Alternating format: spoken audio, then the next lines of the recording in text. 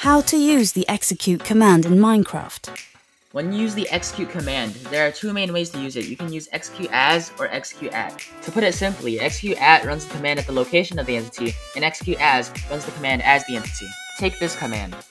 If we execute this command at an armor stand, you'll see that it summons a cow at the location of the armor stand. But in the chat, it'll say that it was summoned by the server.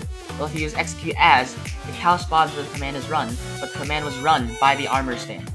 Now, with this knowledge, you can do many things, such as fighting entities, making entities explode, and many more complicated things that require the use of multiple commands.